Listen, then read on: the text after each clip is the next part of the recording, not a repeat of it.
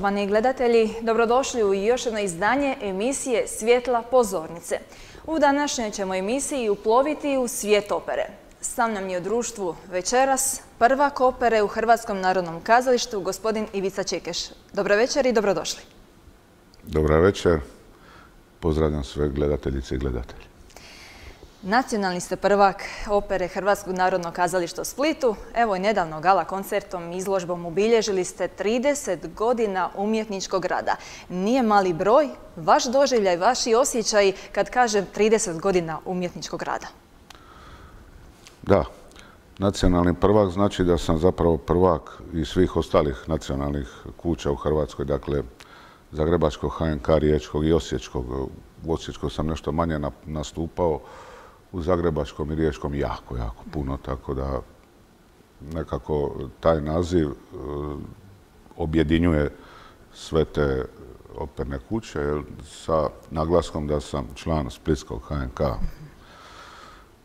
dakle, svih tih 30 godina u svih tim našim nacionalnim kućama gdje mi je najdraže bilo nastupati i pjevati, puno nastupa u inozemstvu, ali ove naše kuće tu mi je nekako najdraže i jednom sam to izjavio, teško je rekapitulirati sad 30 godina u kratko vrijeme, ali puno je tu bilo nadanja, očekivanja, puno toga ostvarenoga, nešto toga neostvarenoga, puno lijepih trenutaka, puno stresa, puno ljubavi, puno svađe, puno svega. Uglavnom, e, figurativno rečeno, to sam jednom rekao, plovidba po nemirnom moru.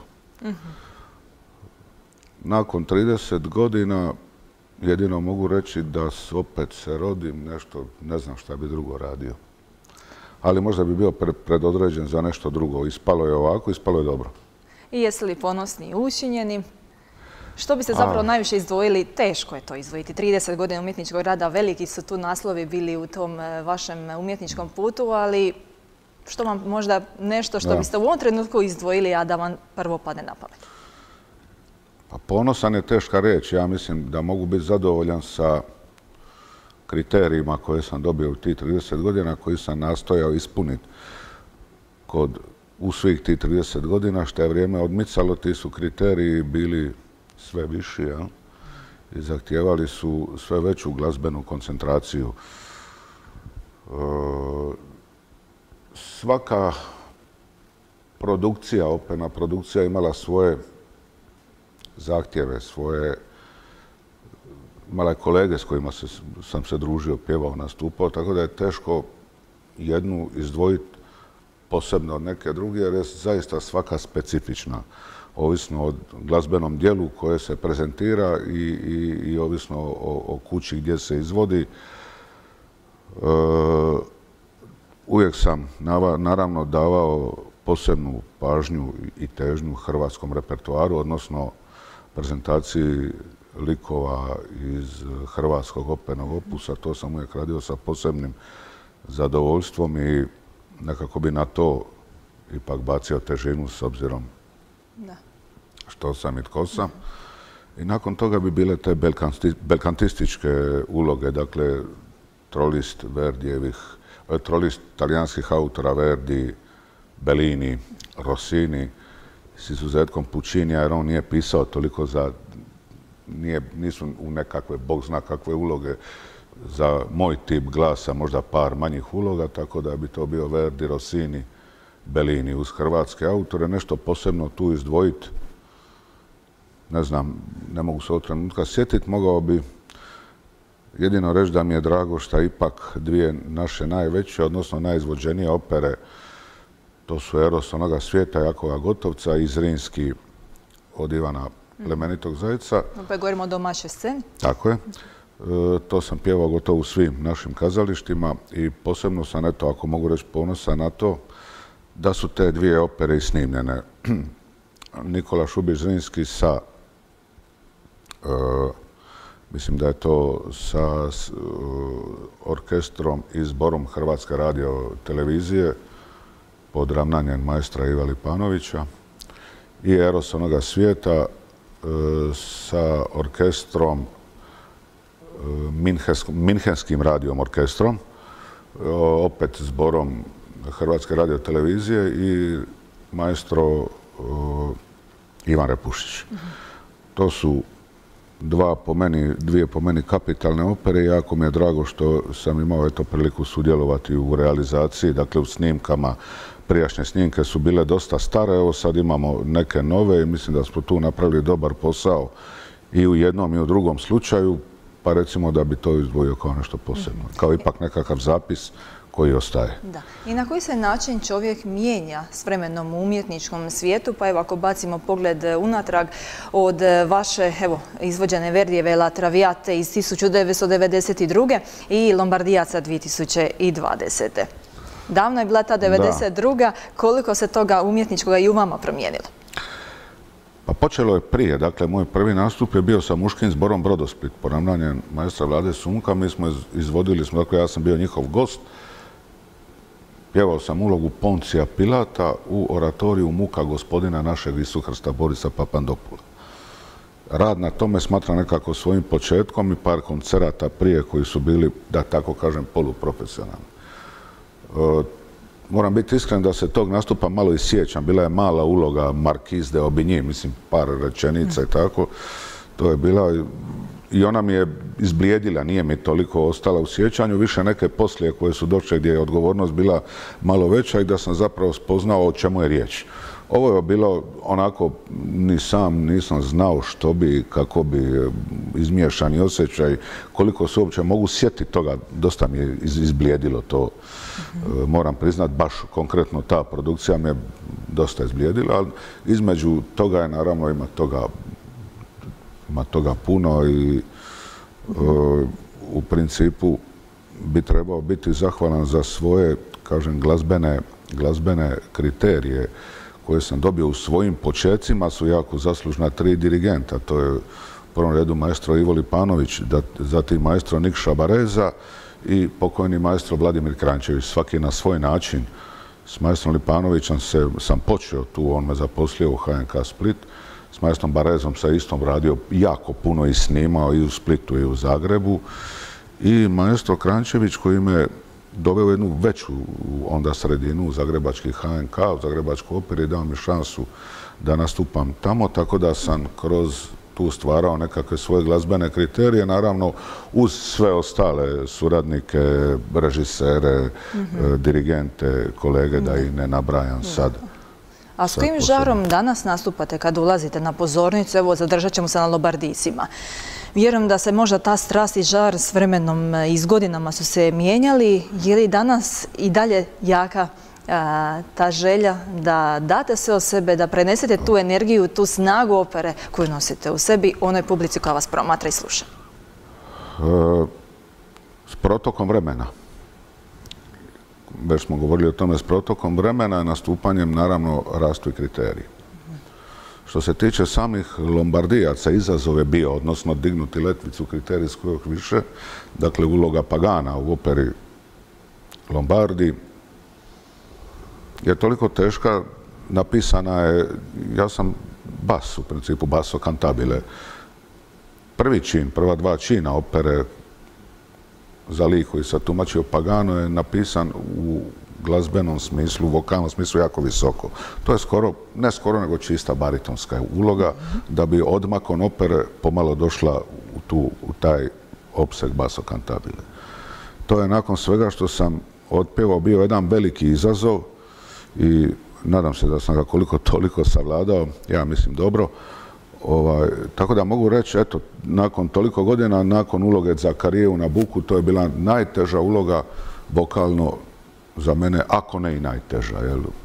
tako da u tom smislu sam tu vidio nekakav izazov. Mhm. Između ostalog, studirali ste u Zagrebu, usavršavali se u Rimu, ali ipak evo odlučili e, ostati u Splitu i ovdje se zapravo umjetnički izražavati, naravno s ostalim nastupima u, u ostalim dijelovima.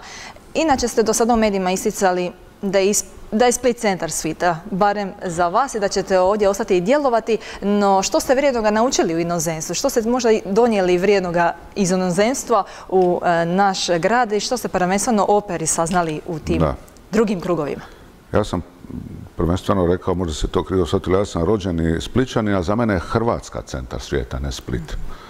Tako da ovaj, ne bi tu posebno Split i kao rođen Split izdvajao, ali Hrvatska je centar svijeta, barem meni što se tiče glazbenog.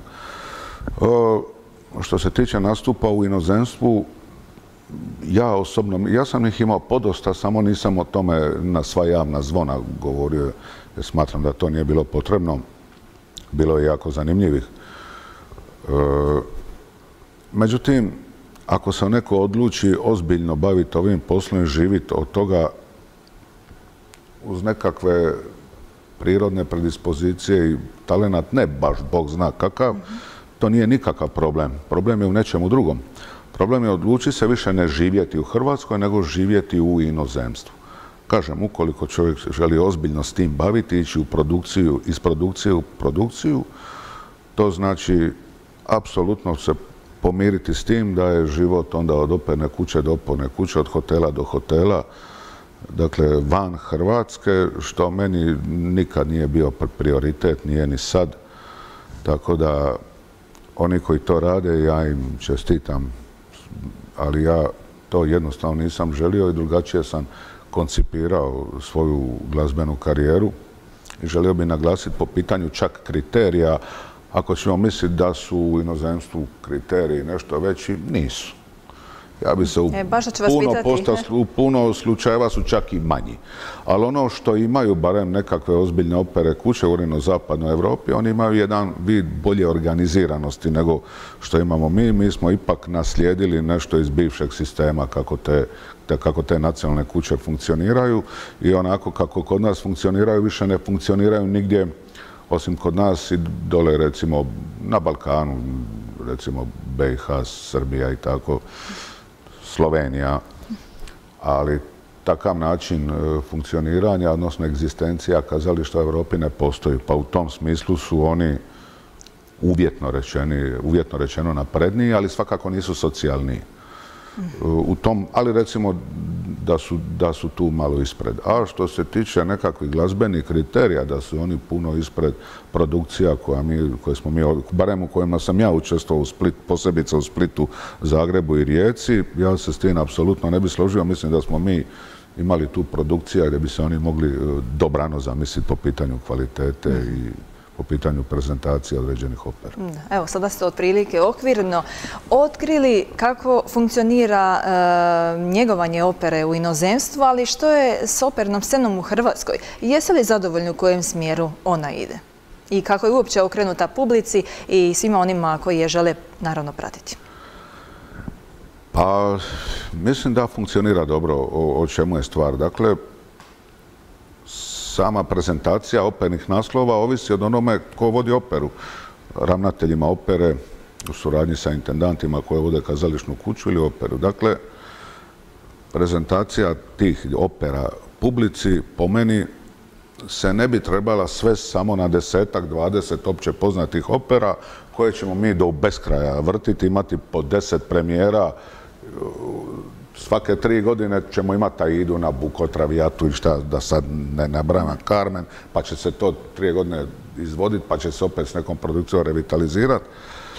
Trebalo bi i nekakve nove glazbene, uvjetno rečeno ne nove, nego glazbene te oblike u operi koje mi nismo imali češće češće ovaj, priliku čuti, trebalo bi to prezentirati publici, ali naravno onda se mora napraviti kompromis jer publika žele vidjeti kako je pjevala sopranistica, žele vidjeti kako je kod obukao veštu, odijelo i doći u operu, poznaje deset opera i sad bi mi trebali stalno izvoditi deset. E, tu je potreban kompromis.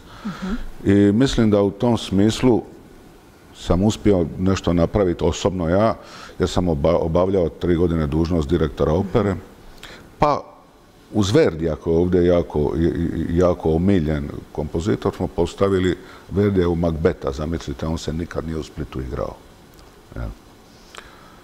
Pa onda napravili smo mali otklon, pa smo napravili nasilje nad Lukrecijom od Benjamina Britna, isto jedna zanimljiva produkcija, nešto novo za Split. I na kraju krajeva ukleti Holandez Richarda Wagnera. I možda meni, tako je, možda meni ne po meni, nego usudit ću reći sigurno najbolja opera koja je Splitska opera ikad producirala. To je u svakom slučaju Mefistofela Riga Bojita. Mhm. E, kad ste sada spomenuli te velike naslove, e, jedno pitanje ostaje još uvijek neodgovoreno e, i kad promatramo te fotografije i od samih vaših početaka i naravno novih opera i nastupa, sami ti kostimi u kojima ste se pojavljivali. Kakvu ulogu oni igraju? Koliko su oni ključni? Jer doista ako promatramo te fotografije koje su bile izložene povodom 30 godina umjetničkog rada, prvo je to ono što nam zapne za oko i koliko je kostim dominantniji i izraženiji, doživljavamo onda i to neko operno dijelo na neki drugačiji e, i moćniji način, da to tako kažem. Koliko su kostimi ključni i važni u svakom opernom dijelu? Pa moramo prvo razjasniti da je opera glazbena drama. Dakle, u jednakom obimu su zastupljeni i pjevanje i prezentacija uloge kroz glumački nekakav Naravno, to nije na, nivou klasične drame u kazalištima ili tako, ali ipak je opera je glazbena drama. Dakle, da bi se prezentirali određeni likovi su potrebni kostimi ako nije koncert, jer samim tim je opera se scenski izvodi, odnosi su živi i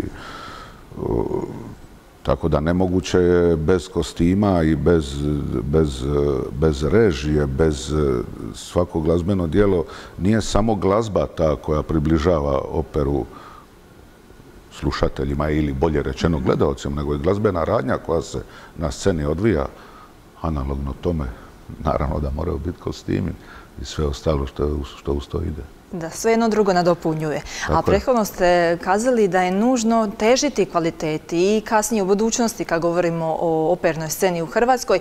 Kad kažemo kvalitetan repertoar same opere, što to zapravo doista u istinu evo, i znači? Kako se mi možemo kasnije približiti tom takozvanom kvalitetnom repertoaru? Kvalitetan repertoar, postoji takozvani željezni repertoar, odnosno 20-30 opera ja bih nazvao klasični koje se najčešće izvode. Što se tiče kvalitete same uprizorenja bilo koje opere u bilo kojem kazalištu, ono prvenstveno ovisi o ansamblu.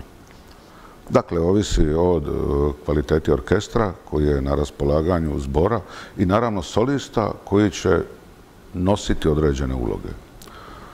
Dakle, ako je nekakav ansambl ili neki ansambl kvalitetan i teži kvaliteti, on mora prvenstveno ljudi moraju biti svjesni s čim raspolažu. Od orkestra, zbora, solista naravno i kompletne logistike. I onda takav zaključak e, zapravo iznjedri nekakav naslov koji smo sposobni izvesti. Dakle, apsolutno kvaliteta ovisi o kvaliteti ansambla. Što se tiče opere, tu su jako, naravno, najbitniji operni solisti, jer od njih to su prezenti uloga i nosioci svega. I ako imate jednu operu gdje je potrebno imati tri dobra tenora ili tri dobra baritona i dva basa ili tri soprana, a vi imate od svakog po jednog, a ostalo se snalazite da radite neke kompromise, onda to na kraju neće biti baš najbolje. Mhm. Kroz samu operu provlače se različiti osjećaj. Od osjećaj ljubavi do osjećaj boli. Koja je uistinu snaga same opere? Što biste rekli, kako doći do samih e, srca e, gledatelja? I zašto nam je ona toliko draga? Pa naravno, a prože to je Dakle, u romantičnim operama samo je, sama je riječ jasna o čemu je riječ. Ako uzmemo od našim, dakle u našim operama, od Zrinskog, dakle, ja bih rekao jedna domoljubna opera, prema tome svi su, cijeli dijapazon e, e, osjećaja je prisutan. Kad pogledamo Verdija i tako odnose, koje on stvara odnose među likovima, Wagnera koji se bavi germanskom mitologijom i tako dalje, kad napravimo sublimat svega toga, pa to je jedna velika lepeza osjećaja koje i, na neki način feelinga koji, koji protagonist mora pokazati. Nije to baš, nije to baš lako i ne uspije uvijek.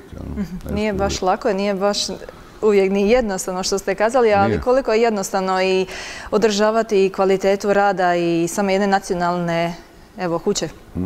kao što je Hrvatsko narodno kazalište, je li ono uspješno u svom radu? Kako, kako biste komentirali do sadašnje i uspjehe i sve ovo čemu teže zapravo svi članovi koji su uključeni u rad e, samog kazališta?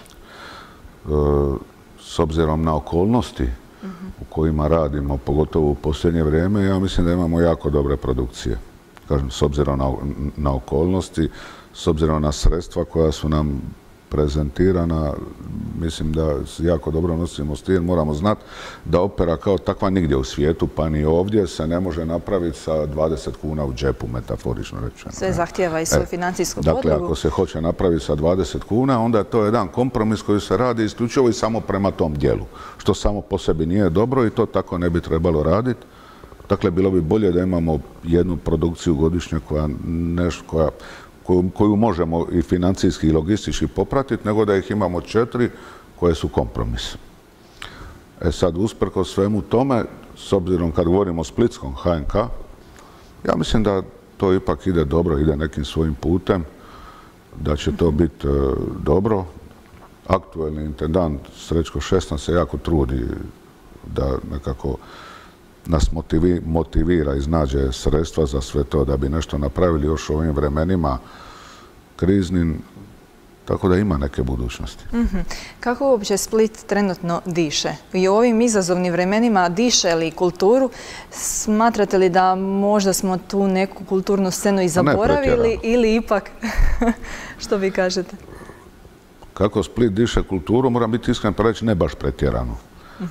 Govorim u ovom, u ovom obliku kulturnog izričaja, dakle o, glazbenom, govorim o ozbiljnoj glazbi. Nešto se vidim, doduše nisam još bio, ali se vidim nešto se pomiče, dakle otvoren je sad taj Hrvatski dom kao svojevrsna koncertna dvorana, ja se nadam da će to prodisat i proraditi, to je zbilja nedostajalo. A što se tiče kazališta, to ide nekim svojim tokom kako ide u običajenim, ne bi, kažem, pretjerano to komentirao, ali da tu postoji, u Splitu postoji nekako, imam osjećaj da ta operna publika pomalo odumire.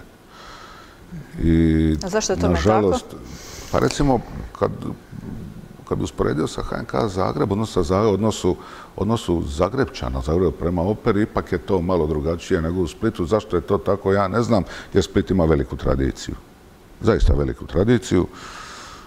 Međutim, očito zanimanje mladih baš za to nije po mom viđanju, daj Bože da se varam pretjerano i u tom smislu bi sigurno trebalo nešto učiniti.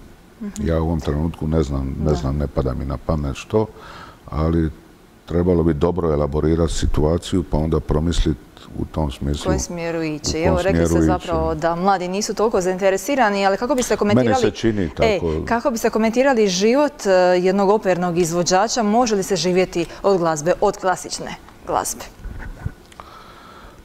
Nitko ko se bavi klasičnom glazbom ne može živjeti onako dobro kako bi želio ili kako bi trebao. Mhm, kako bi trebao. Barem nekako u nas Hrvata to tako izgleda. Ali neovisno od toga, meni je to šarmantno. Naravno, čovjek može, svi mi imamo određeni standard u Hrvatskoj i opera i samo kazališta su, dakle, projekcija samog društva u, kako inače, kakav je standard svima, tako i nama. Tako da ne bi to nešto posebno tu izdvajao. U svakom slučaju, malo prije smo pričali, onaj ko se mhm. odluči boraviti u inozemstvu, baviti se ovim, možda će izgubiti tu dimenziju koja bi meni falila biti u svojoj domovini, dakle, pjevat, jest, ljubit, plovit, putovat u Hrvatskoj, ne vanka, ali će zato u materijalnom smislu sigurno biti puno zadovoljniji. To je, vjerovatno je to ono što ljude motivira mhm. da idu vanka. Da, imate li nekih još svojih neostvarenih želja, uloga? Toliko je toga već ostvareno, ali ipak mislim za kraj da možemo i saznati što vam se trenutno još uvijek vrti u glavi da, stoji nešto na listi, a da nije još onako obavljeno. pa ima određenih, ne znam, malo prije sam spomenuo kompozitora koji nije toliko pisao za, tu, za tip glasa baso cantabile, a meni je jako drag. To je Puccini, jel? Kino Puccini.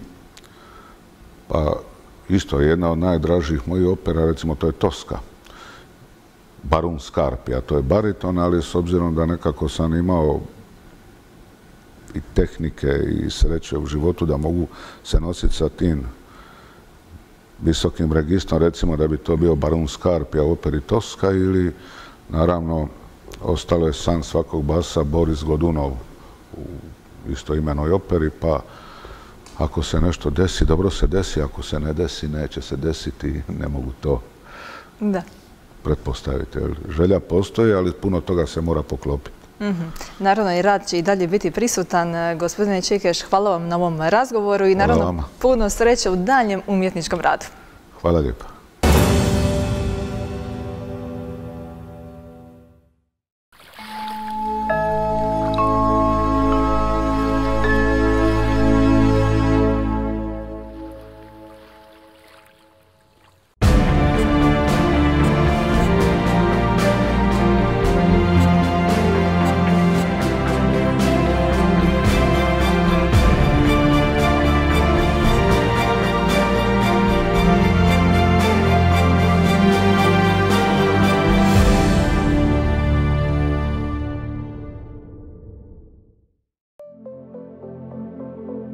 Renomirani proizvođač medicinskih pomagala ima hit proizvod na našem tržištu, a to je zaštitna maska za lice.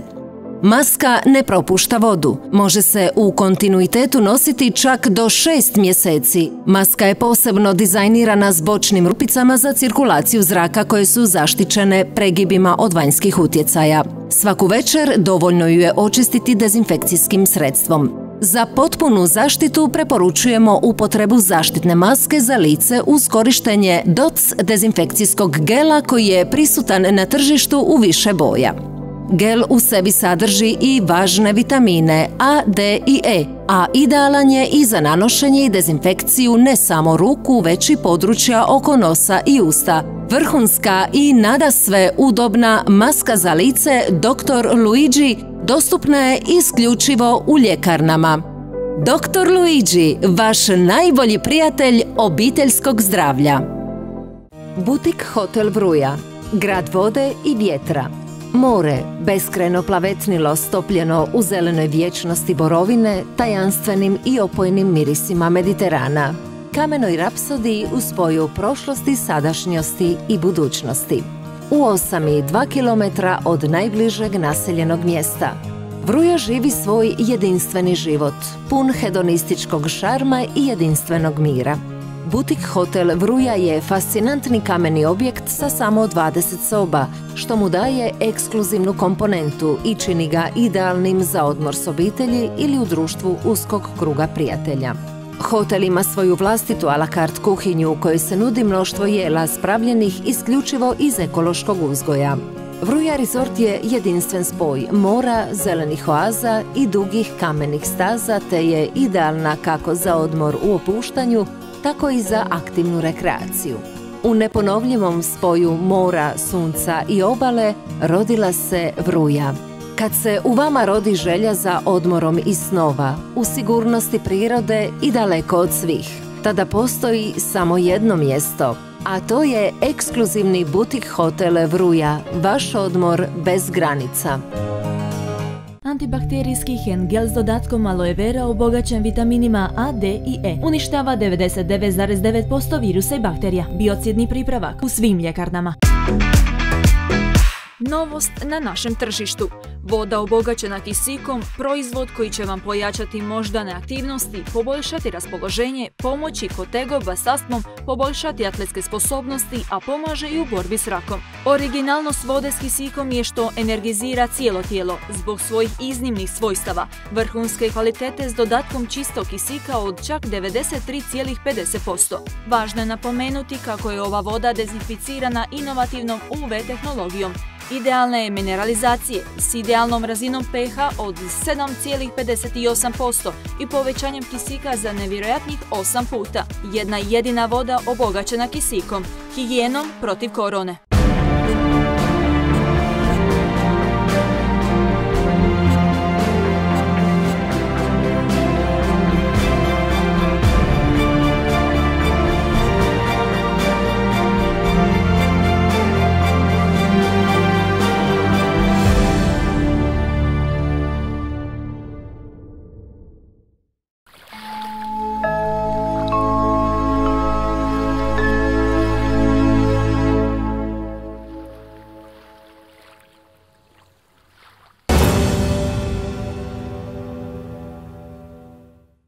Poštovani gledatelji, polako smo došli do kraja još jedne emisije Svjetla pozornice. U današnjoj smo emisiji uplovili u svijet opere, a gost emisije bio je nacionalni prvak opere Hrvatskog narodnog kazališta Split, gospodin Ivica Čekeš. Do sljedeće emisije, lijep pozdrav!